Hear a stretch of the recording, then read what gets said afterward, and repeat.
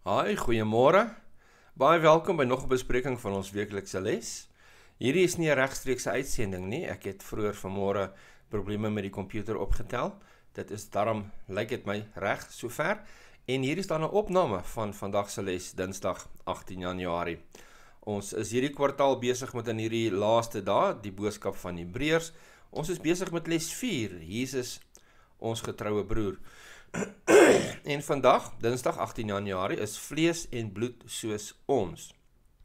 Ons geheeteks vir die week is in Hebreërs 2 vers 14, Nuwe Lewende Vertaling, lees soos volg: Aangesien hierdie kinders mense van vlees en bloed is, het hy ook net soos hulle mens geword. Dit het hy gedoen om deur sy dood die een wat mag het oor die dood, dit is die duiwel, te vernietig. Hebreërs 2 vers 14, ek lees weer. Aangesien hierdie kinders mense van vlees en bloed is, het hy ook net soos hulle mens geword. Dit het hy gedoen om deur sy dood die een wat mag het oor die dood, dit is die duiwel, te vernietig. Kom ons open met gebed.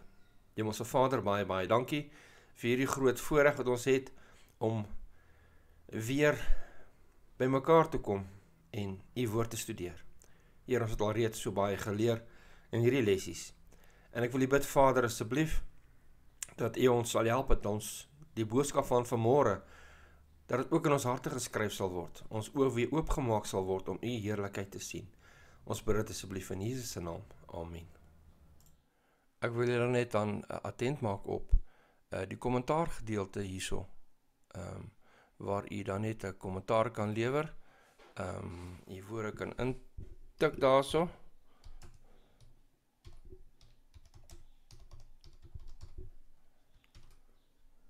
En dan druk u net komment en u kommentaar is daar. Ehm um, druk ook asseblief die die like knoppie en die share knoppie en deel dit met u vriende. Maar ek wil u aanmoedig asseblief gesels saam met ons by hierdie kommentaar gedeelte. Baie baie dankie vir elkeen wat kommentaar gelewer het. Beteken regtig baie vir ons. OK, kom ons gaan na die lesie toe. Ehm um, vlees en bloed vir ons. Hierdie eerste paragraafie wat hierso in die lesie staan, wil ek graag vir ons lees en daai laaste gedeelte is vir my baie treffend. Dit sê die boek Hebreërs noem dat Jesus ons menslike natuur aangeneem het sodat hy in ons plek en vir ons kon sterf. Hebreërs 2 vers 9 14 tot 16, Hebreërs 10 vers 5 tot 10. Nou sê hierdie volgende: Hier is die grondslag van die verlossingsplan en ons enigste hoop op die ewige lewe. Wat is ons enigste hoop? Wat is die grondslag van ons geloof? Jesus wat mens geword het en in ons plek kom sterf het. Hulle vra ons moet Skus kyk na Matteus 16 vers 17, Galasiërs 1 vers 16, 1 Korintiërs 15 vers 50 en Efesiërs 6 vers 12. Nou vra hulle Na watter tekortkominge van die menslike natuur verwys die uitdrukking vlees en bloed in hierdie gedeeltes? Nou kom ons kyk Matteus 16 vers 17 lees ons volg. Toe antwoord Jesus en sê vir hom: Salig is jy, Simon Barjona, want vlees en bloed het dit nie aan jou openbaar nie, maar my Vader wat in die hemele is. Wie is ons vlees en bloed? Volgende ene Galasiërs 1 vers 16 om sy seun in my te openbaar sodat ek hom onder die heidene sou verkondig het ek dadelik nie vlees en bloed geraadpleeg nie. So in beide hierdie twee gevalle sien ons dit praat van iets buite die mens wat nie vlees en bloed is nie. 1 Korintiërs 15 vers 50 maar dit verklaar ek broeders dat vlees en bloed die koninkryk van God nie kan beerwe nie, ook beerwe die verganklikheid nie die onverganklikheid nie. So in hierdie sin praat dit van die mens se sondige natuur. Efesiërs 6 vers 12 uh want ons worstelstryd is nie teen vlees en bloed nie, maar teen die owerhede, teen die magte, teen die wêreldheersers van die duisternis van hierdie eeu, teen die bose geeste in die lig. Na watter tekortkominge van die mens se natuur verwys die uitdrukking vlees en bloed in hierdie gedeeltes. Nou sê die lesie vir ons hierso. Die uitdrukking vlees en bloed beklemtoon die broosheid van die menslike toestand, die swakheid, die wanbegrip en ons verganklikheid, ons onderworpenheid aan die dood. In die gedeeles wat hiervoor aangegee word is Efesiërs 6 vers 12, Matteus 16 vers 17, Galasiërs 1 vers 16, 1 Korintiërs 15 vers 50. Ehm um, dit wat ons nou gelees het. Dan sê dit: Hebreërs meld dat Jesus in elke opsig aan sy broeders gelyk geword het. Hebreërs 2 vers 17. Hierdie uitdrukking beteken dat Jesus ten volle mens geword het. Jesus het nie slegs gelyk soos of gelyk aan die mens geword nie. Hy was waarlik vlees waarlik een met ons. Nou ten opsigte van die sonde was daar 'n verskil gewees. En ons lees hierdie verskil in Hebreërs 4 vers 15 wat sê want ons het nie 'n hoëpriester wat nie met ons swakhede medelee kan hê nie, maar een wat in alle opsigte versoek is net soos ons en hier kom die sleutel, maar sonder sonde. Nou sê die lesie hierso vir ons hierdie volgende. Jesus het die vleeslike natuur aangeneem wat heilig, onskuldig, onbesmet, afgeskeie van die sondaar is. Ons het bose neigings. Ons gebondenheid aan sonde begin diep binne ons eie vleeslike aard. Ons is vleeslik verkoop onder die sonde, selfsug en ander sondige neigings besoedel selfs ons goeie dade. Jesus se natuur egter was nie bevlek met sonde nie. Dit moet so wees. Indien Jesus vleeslik verkoop onder die sonde was, soos ons is, sou hy ook 'n verlosser nodig gehad het. As plaasvervanger kom Jesus self as 'n verlosser en bied homself aan as offer, onbevlek aan God vir ons. Hier daar is in ons in die Adventiste kerk drie sienings aansaande aan ehm aangaande die die uh, natuur van Christus. maar wanneer ons wandel op die natuur van Christus, is dit 'n onderwerp wat ons baie ligtelik moet hanteer. Want baie maklik kan 'n mens die evangelie verdraai en verkeerd vertolk. Want dit het baie te doen met ons siening en ons vermoë ons uh oorwinning van die neigings wat in ons is. En uh, 'n mens wil nie die evangelie enigsins besoedel van 'n uh, verkeerde wanbegrip nie.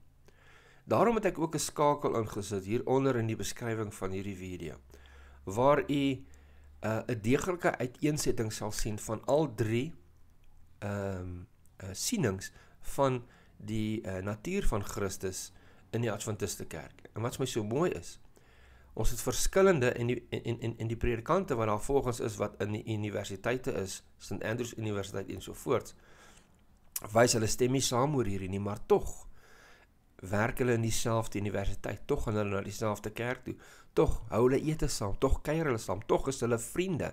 En dis wat my so wonderlik is om te in die 70 Adventiste kerk. Daar is dinge waaroor ons kan verskil, maar ons is nog steeds lief vir mekaar. Ons is nog steeds soekend in die woord om te kyk hoe kan ons nader kom in die waarheid. Hoe kan ons seker maak dat ons siening reg is? Wat kan ons leer by die ander se siening? En dit is wat vir my so kosbaar is in die Adventiste kerk. Ja, daar is verskillende sienings oor sommige dinge, maar ons bly nog steeds 'n een eenheid. Nou het ek 'n vraag wat ek vra hier, so kon Jesus gesondig het?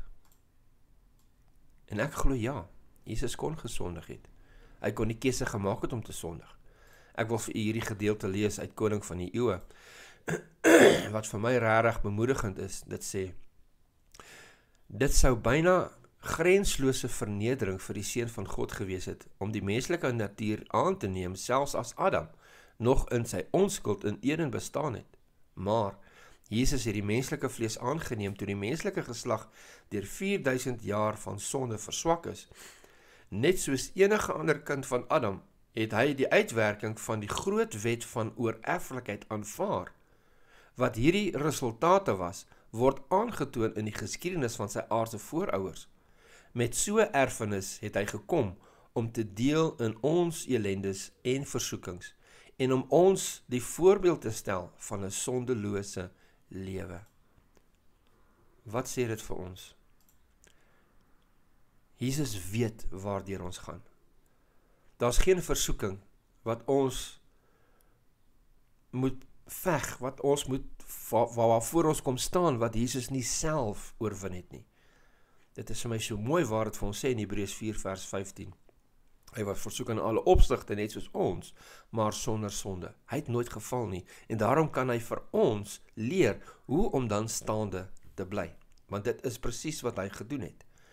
As ons teruggaan na die lesie toe, uh lees ons Jesus het toe die mag van die duiwel verbreek deur as die sondelose sondoffer te sterf vir ons sondes en het vir ons vergifnis en verzoening met God dus moontlik gemaak.